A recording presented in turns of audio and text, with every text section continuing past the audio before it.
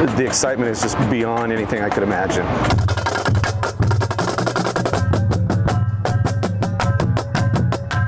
It's been nearly 40 years since the Floresville Marching Band has made it to state. This week, they're headed there and they're putting the final touches on their big performance.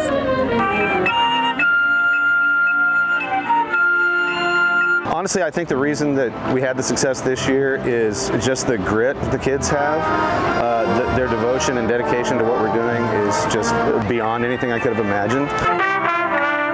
The entire Floresville community is buzzing about the Mighty Tiger Band, and you're going to hear them roar this week at the 4A 2022 State Marching Band Competition.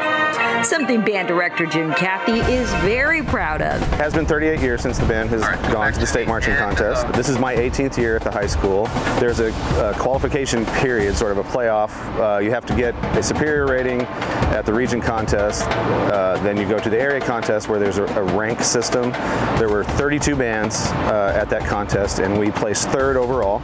They take six that qualify to the state marching contest and so that's where we are. and we're still making improvements now. You would think after four months that maybe we're sort of peaked out, but they're still working hard and we're still making improvements. Carolina Estrada is the drum major, a senior here at Floresville High School. She tells me band has helped her on so many levels. I can definitely say band has defined me into like who I am as a person. Coming in my freshman year and seeing all the upperclassmen and seeing everything that they're involved definitely influenced me and showed me how I want to be as a student and I'm going to continue to do that when I go to college. We all work hard. It takes a team, like parents, the, the band directors, it takes a village to like make this happen. And knowing like state, it's like insane. Like I'm glad that I could say my senior year at Floresville, we got to state.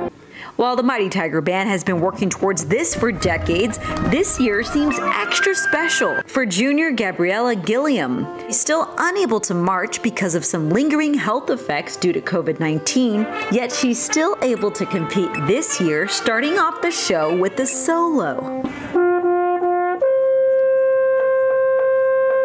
It was upsetting because my freshman year we didn't get to do any of that either because of COVID and so it was just upsetting that I didn't get to do it either uh, my sophomore year. So it was just, I wasn't able to march again. My endurance wasn't there. Mr. Cathy told me that I was just so I was just so happy and so thankful for him that I was going to be a part of the show still without marching and that I get to do this. One thing's for sure, there's no lack of encouragement here in Floresville.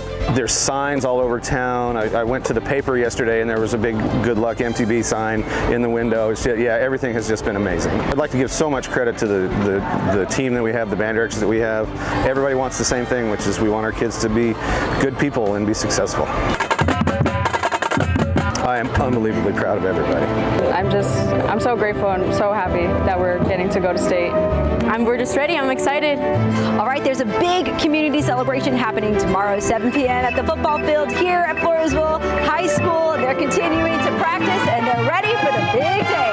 For more information, head to SALive.com, click the As Seen on SA Live tab. That just give you shivers oh, thinking about that? They work so hard and look at them. They're amazing. We had a great time going.